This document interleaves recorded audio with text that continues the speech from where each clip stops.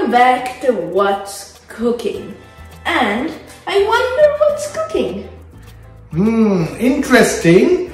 Today we are going to cook a very new chicken dish. When I say new, I mean we have not cooked this before. So it is going to be chicken, it is going to be green, and it is going to be easy.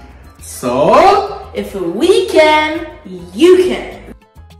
To cook our special green chicken, first we have fried the chicken with a coating of egg yolk and little bit of flour and have put adequate quantity of breadcrumbs. Now I wanted the chicken to have a crunchy feel to it so that when you take a bite you can enjoy not just the softness of the chicken but the crunch of the coating as well. The greenery comes in the form of a paste. Now coriander and curry leaves form the green base. With that we have added a few red chilies, a little bit of rosemary, a bit of lemon zest, tomato paste, ginger paste, a bit of sugar and water. Now the idea is all this will be mixed in the mixture to create a beautiful paste which will be slightly salty, slightly soury, slightly tangy and slightly hot as well. That will make our green paste to be put on the chicken now there is a small bit of thing that I added as well.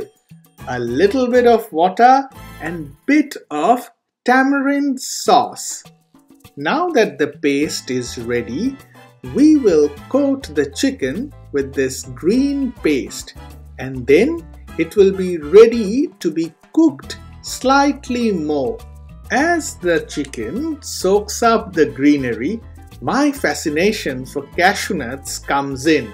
So I put a little bit of cashew nut on the chicken, a bit of honey, some salt to taste. I will be adding a little bit of seed toppings for decoration. This is what our experimental green chicken looks like now. Now, no cooking is complete unless and until we do the Rudra taste. So let's get to it. So this looks really good and I am very excited to try it.